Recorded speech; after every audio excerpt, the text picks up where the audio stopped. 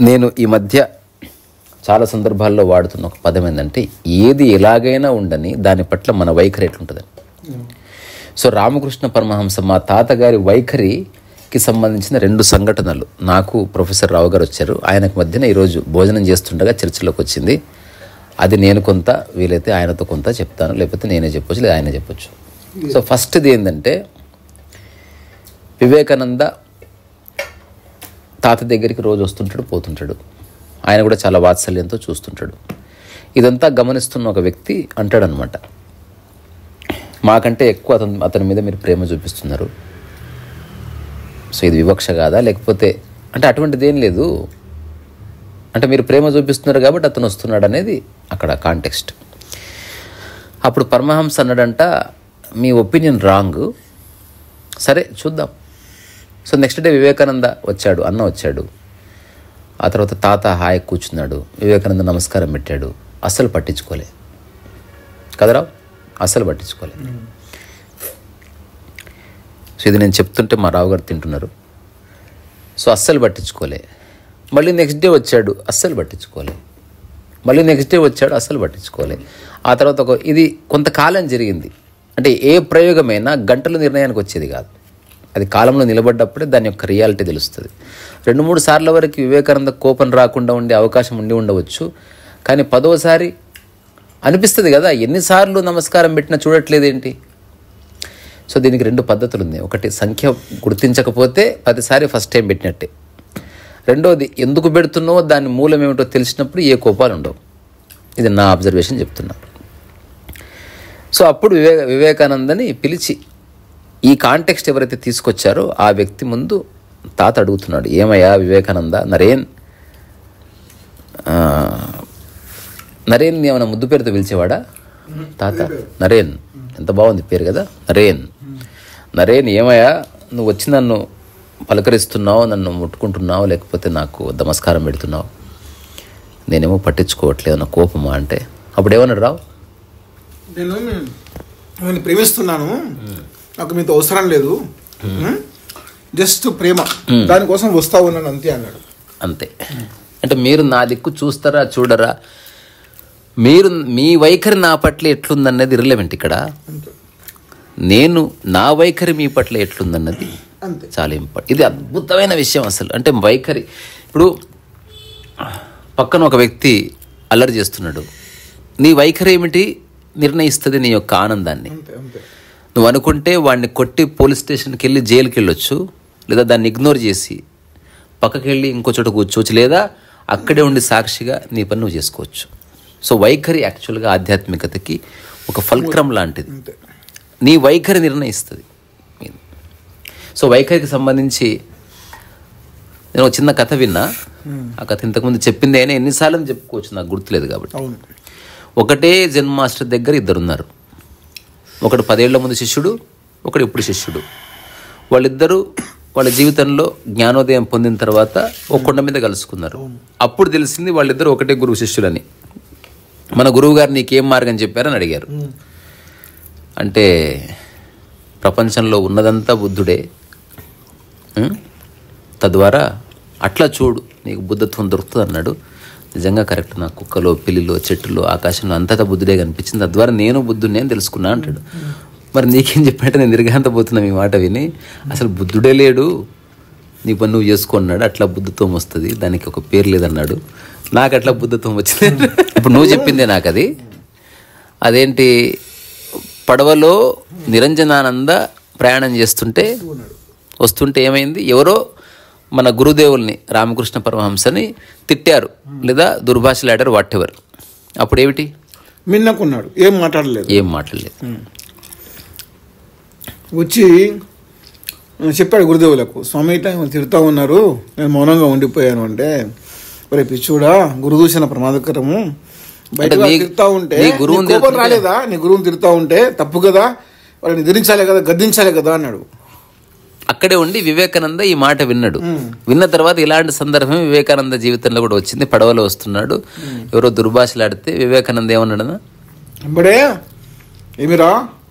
మా గురువుల గురించి ఇంత మాటలు మాట్లాడతావా? నీ పడవను ముంచివేస్తానన్నాడు కోపంతో "ఉమ్, అన్నాక వాళ్ళందరూ ఇంకొకటి భయపడ్డారు. మా ప్రొఫెసర్ రావు గారు అచ్చం వివేకానందం లాగా ఉంటుంది ముఖ వర్చస్సు చెప్పు చెప్పు.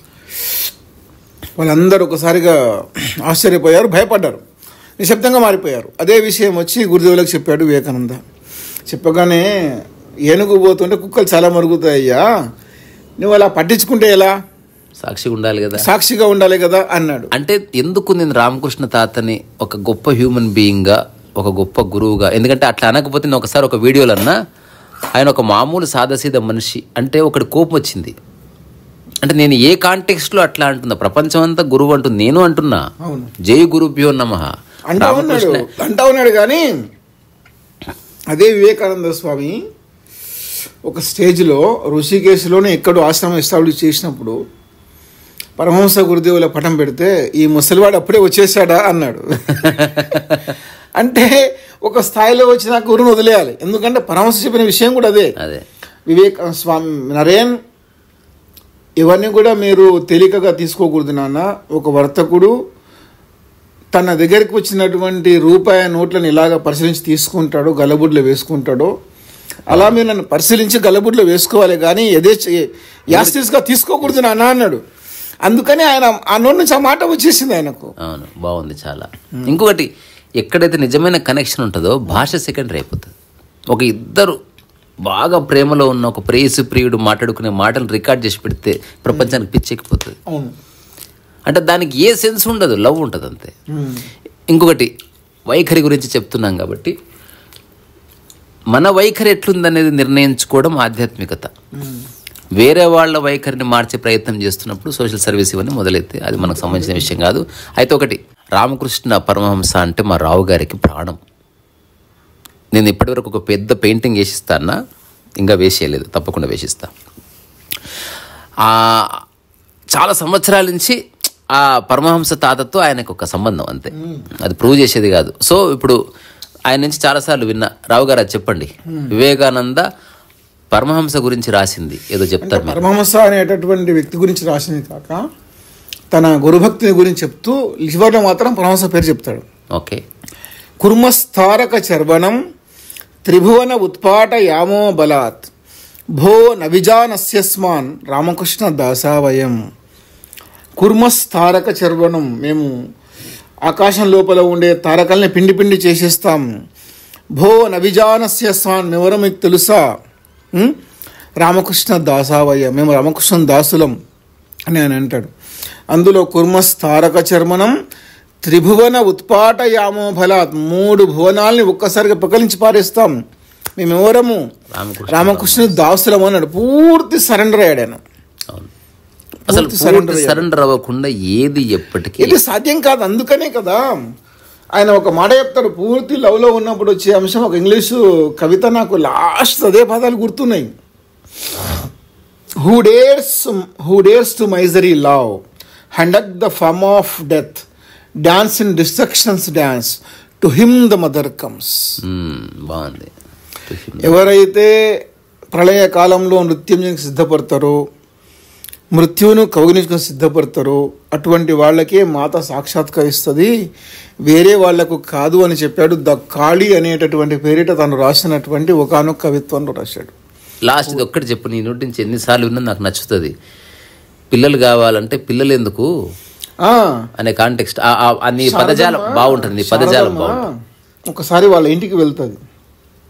వెళ్ళినప్పుడు అక్కడ ఉండేటటువంటి వాళ్ళందరూ కూడా ఆమె పరమహంస సతీమని చెప్తా ఉంటే అప్పుడు అక్కడ ఉండే వాళ్ళము ఏముందమ్మా అంత పెద్దవాడైనప్పటికీ పిల్లల పీచా అన్నారు. ఆమె దుఃఖపడుతూ గురుదేవ్ దగ్గరకు వచ్చి అడిగింది ఏమండి ఇలా అంటున్నారంటే పిచ్చిదానా అలా ఎందుకు ఫీల్ అవుతావు? నిన్ను అమ్మా అమ్మా అని చెవులు చెల్లులు పడేలా పిలిచేటటువంటి పిల్లలు నీకుంటారమ్మా అన్నాడు ఆయన. అట్లా అతనికి వివేకానంద భేదానంద నిరంజనానంద ఓ అందులో రెండు వర్గాలు. గృహస్థ శిష్యులు సన్యాస శిష్యులు. నిరంజనానంద గృహస్థ. సన్యాస. అదే మ్యారేజ్ చేసు గృహస్థ శిష్యుల్లో ఫేమస్ శిష్యుడు అంటే దుర్గాచరణ్ నాగ్. ఆయన ఇంకొకటి నేను రేపు ఒక టాక్ చేద్దాం అనుకుంటున్నా. ఇప్పుడు ఇది బంద్ చేస్తా. ఆ టాక్ ఏంటంటే చాలా మందికి తెలియదు రామకృష్ణ పరమహంస పేరు తెలుసు. కానీ ఆయనతో అసోసియేట్ అయిన వ్యక్తుల పేర్లు మన ఇద్దరికి తెలుసు. అవును. సో వాళ్ళ గురించి చూచాయిగా చెప్దామని. తప్పకుండా. ఓకే? అంటే చాలామంది ఇప్పుడు అభేదానంద వివేకానంద ఎంత గొప్పవాడైనా అభేదానందకి పరమహంసకున్న ఫ్రెండ్షిప్ వేరు. అవును. అంటే ఏజ్ ఇద్దరిది సిమిలర్ ఆల్మోస్ట్ అదే బ్రహ్మానందకి నిరంజన రాకాచంద్ర ఘోష్. ఆ, రాకాచంద్ర ఘోష్. అట్లాగే హృదయనాథ్. హృదయన హృదయ అనేవాడు అతడు సన్యాసిష్యుడు కాదు గొస శిష్యుడు కాదు. సరే అది కాదు. అటెండెంట్ ఆ టాపిక్ ఈరోజు అది కాదు. అర్థమైంది. మనం ఆ టాపిక్ వదిలేద్దాం. మన రేపు మార్నింగ్ మీరు వెళ్ళేలోపు ఒకసారి నేను మీతో కొంత ఇన్ఫర్మేషన్ తీసుకొని మన మిత్రుల కంటే గొప్ప వ్యక్తులు ఉండడం వేరు. ఓన్లీ ఆ వ్యక్తి కాకుండా ఆ వ్యక్తి అలా అవ్వడం వెనుక చాలామంది కృప ఉంటుంది. నిశ్శబ్దంగా ప్రత్యక్ష పరోక్షంగా ఎందెంతో సహాయం చేస్తేనే ఒక మామిడి పండు చెట్టు కాస్తుంది. ఉత్తగానే ఏది రాదు. సో అట్లా ఈ క్షణం నేను మాట్లాడుతున్నా అంటే ఐప్యాడ్ చేసి తయారు చేసిన ఈ ఐప్యాడ్ మా రావు గారు మేము తిన్న భోజనము? ఇప్పుడే నేను అమ్మతో మాట్లాడిన అది చక్కటి వాతావరణము. నాకు ఇంట్లో ఉండే అవకాశం ఇచ్చిన మా ఇంటి ఓనరు ఇక్కడ చుట్టుపక్కల ఎవరు శబ్దాలు చేయకూడదు నిశ్శబ్దం అన్నీ కలిసి ఒక మాట బయటకు వస్తుంది కదా అట్లా నా జీవితంలో మీరంతా అప్రత్యక్ష భాగస్వాములు అంతే అంటే we are all together but sometimes visible and sometimes invisible రీసారా సోవేసా